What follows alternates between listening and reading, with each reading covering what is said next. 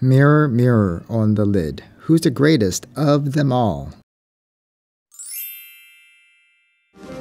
It's without doubt the very best computer that we've ever built. It has two Thunderbolt ports, two USB 3 ports, and one HDMI port. Oh, if he only knew how right he was.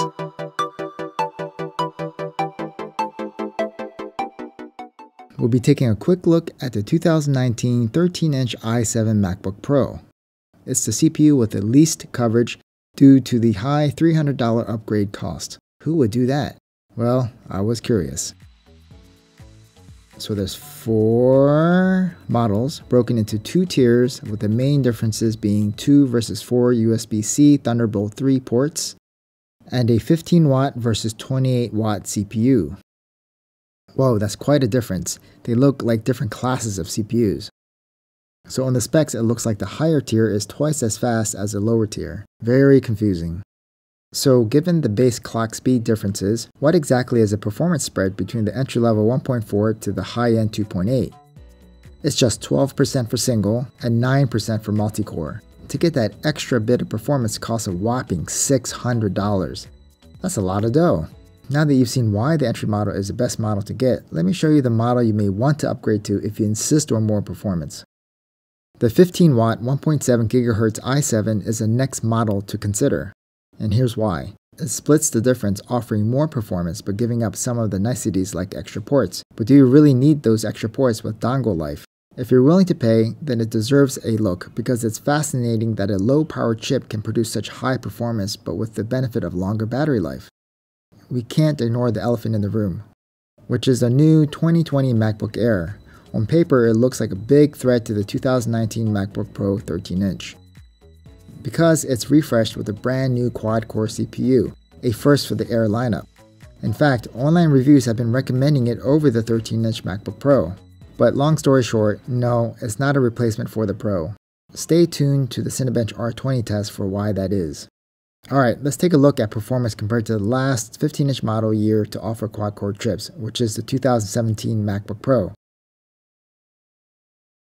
Starting with Blackmagic test, it gets a 1100 write and 1500 read. Not exactly class leading, but just going off the butt dyno, I feel no difference between this machine, my 15-inch MacBook Pro, and my 2018 6-core Mac Mini, which has double the read speeds. In fact, out of the three, the 13-inch feels the most responsive. I'm not sure why that is though. Next, Geekbench 4. A solid 5264 in single and 17585 in multi. Geekbench doesn't do a full load test, so you can think of it as average performance for the machine. So in my opinion, this is not the best benchmark to use between machines. So if you're looking at only MacBook Pro 13 inches, then this Geekbench test is pretty good. But if you're comparing it to the Air or to some Windows machine, it's actually not very good. But the next test is so with Cinebench R20, it does the CPU test under heavy load where thermal performance will be a factor. The 15 inch should have an advantage here with the larger chassis managing heat better, but the 13 inch is running a cooler CPU. Wow, so that's a virtual dead heat, no pun intended. They perform almost exactly the same. Remember, this is a 15 watt entry level CPU versus a 45 watt top tier CPU. As far as the MacBook Air, this is where it falls apart. From recent testing, the quad-core i5 scores in the 900 point range. That's very underwhelming, likely because it's only a 10 watt chip with no heatsink. To put this lack of performance into perspective, a quad-core 15-inch MacBook from 2012 will still do 1200 on this test. Ouch. And this is from a 3rd gen quad-core CPU. Now onto a custom rendering export operation exporting a 2 minute 46 second 4K footage that I've edited by moving the first minute to the back and adding a 30 second title and Gaussian blur effect. The 15 inch has the benefit of the dedicated graphics, the Radeon 560X, so it finishes in a very solid 1 minute 50 seconds, and the 13 inch comes in at 2 minutes 37 seconds. Having the dedicated GPU makes it 43% faster. I only have a SATA drive that will only do around 500 megabytes per second. And it comes in around 447 megabytes per second. Not bad. One last thing. As of the time of this video, both the 16-inch and Air have upgraded to the new scissor switch keyboards. But the 13 inch Pro is still using the butterfly switches, 3rd gen. It's not that bad, per se, but the issue is they went for form over function, unnecessarily making it difficult to find the correct arrow keys, versus having the superior inverted T layout. I'm glad they reverted back to it. So the i7 has the equivalent or better CPU of a mid-tier 2017 quad-core 15-inch MacBook Pro, but using a much cooler CPU. This is in effect the most efficient 13-inch notebook Apple offers. If you need more graphics power, then you need to get an external GPU, which makes this a fantastic configuration for someone like me. Even if performance was not a consideration, I would still choose the 2019 MacBook Pro over the new 2020 Air because having the touch bar is nice. It's like having shortcuts for apps without having to remember them. The display is of higher quality, both in color accuracy and brightness.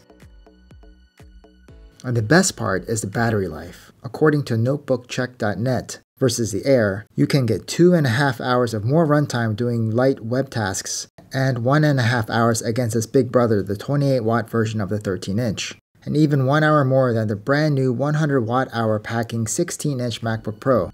That's pretty significant. I want my notebooks to have great battery life, so this is like having your cake and eating it too. So in summary, the 13 inch entry i5 MacBook Pro is where you should start and then upgrade to the i7 if you really need every little ounce of power in a portable device. I don't recommend spending 600 more for the 2.8 GHz model since the 1.7 does close most of the gap. If you need more power then I'd say just upgrade to the 16 inch models. As far as the Air, yes, it is much cheaper. If you're not after performance, then it's a fine choice. But be aware that there are lots of discounts going on for the 2019 year model due to its age. If you can find one config like the Air that's within $250 or less, I would seriously give it some consideration. I hope this video was helpful to you. Thanks for watching and see you next time.